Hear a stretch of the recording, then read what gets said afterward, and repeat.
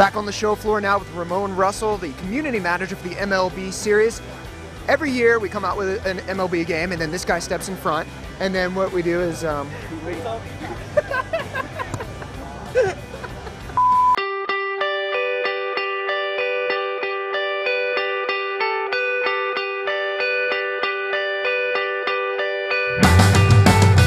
Ramon Russell's joining me on the show floor of CES. You guys are making some pretty significant changes, beginning with the control scheme. One of our major goals this year was to give you a brand new way to play the game. And we've done that with our pure analog control scheme. And now we have pure analog pitching, pure analog fielding, and pure analog hitting. And they're really, really interactive, they're really dynamic. They use the right analog stick, and it's just another way to play the game. And if you're a fan of the old control schemes, that's fine because they're still in there and they still receive some programmer AI love. So you, we haven't forgot about you as well. Then there's also the move control is going to be integrated somehow into, into Yeah, MLB so we as well. Move. Uh, we have Move in Home Run Derby, and you can use Move and 3D in Home Run Derby to really get a nice effect.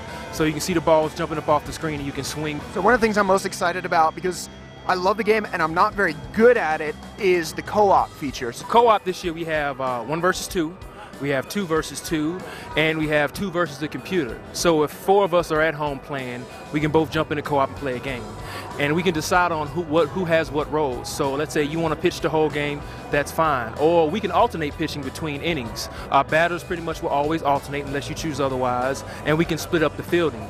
You've actually got a role now. There's some new features with MLB that is going to keep people coming back from week to week. Tell us a little bit about Exactly. So one of our really, really exciting new features this year is Challenge of the Week. And Challenge of the Week uh, came to us. We looked at old school arcade games and we thought of a mode that fit an old school arcade game.